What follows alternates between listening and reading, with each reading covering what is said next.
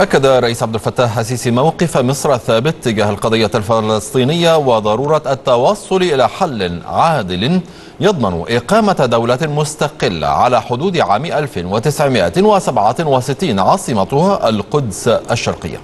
وأضاف السيسي خلال لقائه نظيره الفلسطيني محمود عباس أن التوصل لحل للقضية يعد ركيزة أساسية لاستعادة الأمن والاستقرار في منطقة الشرق الأوسط. مشيرا إلى أن مصر ستواصل جهودها لاستئناف المفاوضات بين الفلسطينيين والإسرائيليين. من جهته أعرب عباس عن تعازيه في ضحايا هجوم رفح الإرهابي وأكد وقوف فلسطين إلى جانب مصر في حربها ضد الإرهاب.